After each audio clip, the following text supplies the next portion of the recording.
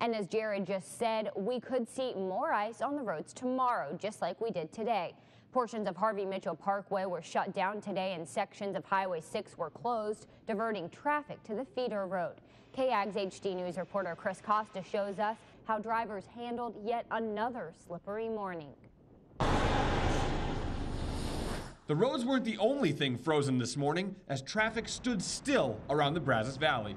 For the third time in less than a month, icy conditions caused major traffic delays during the morning commute. We're not used to driving in these conditions, and our vehicles aren't, aren't equipped to, to handle a lot of these conditions. Once or twice a year does not make for a good driver in the bad weather. Between 5 in the morning and noon, College Station police responded to more than 70 traffic situations, everything from major crashes to drivers who slipped off the road.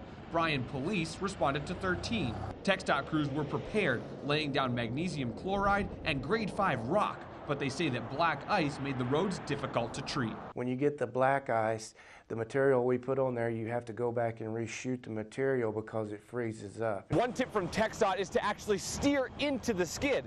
They say that if you slam on your brakes, your tires become like this phone cased in rubber, and they slide along the ice. Everybody probably thought, hey, maybe just a little wet outside, but I think still speed was a factor in a lot of the incidents that we saw today. Just be more mindful of your surroundings and everybody else. You, you know, you may be being really careful, but there's other people that aren't being careful. You need to watch out for other people also. Preventing future accidents by driving to the conditions. In College Station, Chris Costa, KAGS HD News.